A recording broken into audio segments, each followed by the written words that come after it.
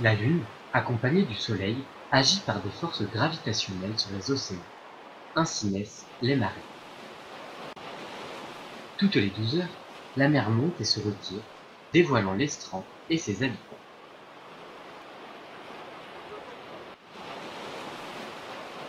À chaque marée, certains oiseaux profitent des cadeaux que la mer laisse apparaître pour se nourrir.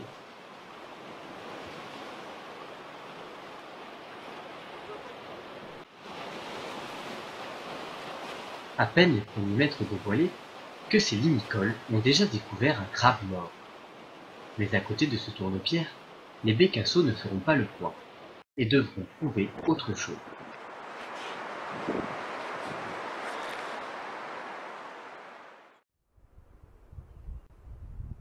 Les bécassos cherchent des vers dans le sable, qu'ils chassent à l'aveugle.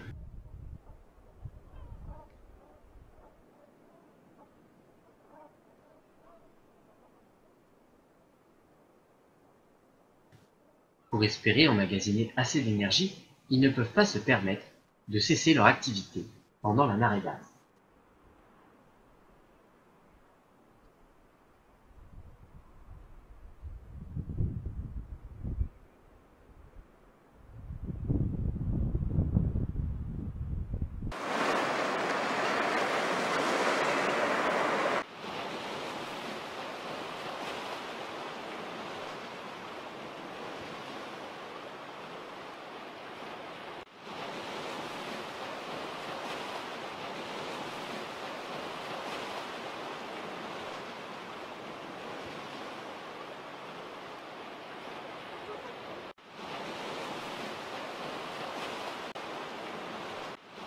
Les herbiers de Zostère, asséchés, sont la cible de la bernache cravant.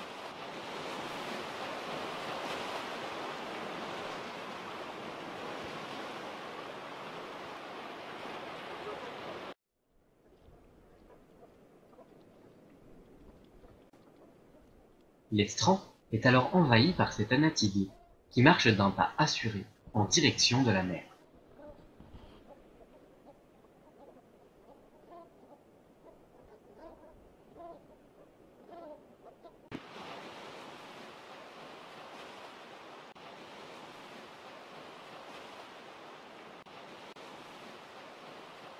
Piégés entre les rochers, les poissons et les crevettes sont traqués par l'aigrette gardée. Cette pêcheuse hors pair est munie d'un véritable harpon.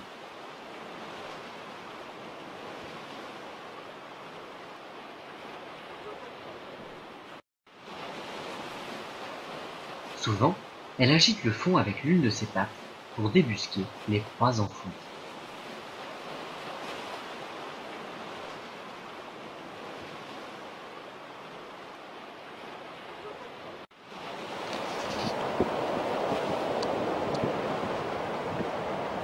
Certaines espèces, comme le tourne-pierre, ont mis au point des techniques de recherche propres à leur.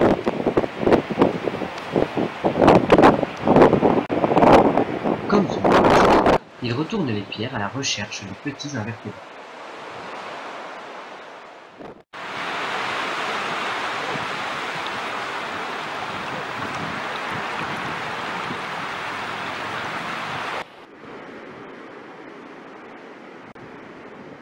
D'autres espèces, comme le pluvier, cherchent dans l'estran quelque chose à se mettre dans le bec, de manière opportuniste.